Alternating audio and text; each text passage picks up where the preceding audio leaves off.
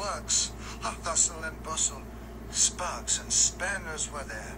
Emily was having her wheels oiled, and Stanley was almost ready to leave. Thomas, Emily, and Stanley smiled. Then Sir Topham Hatt arrived. He was cross. Thomas, Emily, and Stanley, the mail cars are still missing. Tomorrow, you must find them. Yes, sir. Sir.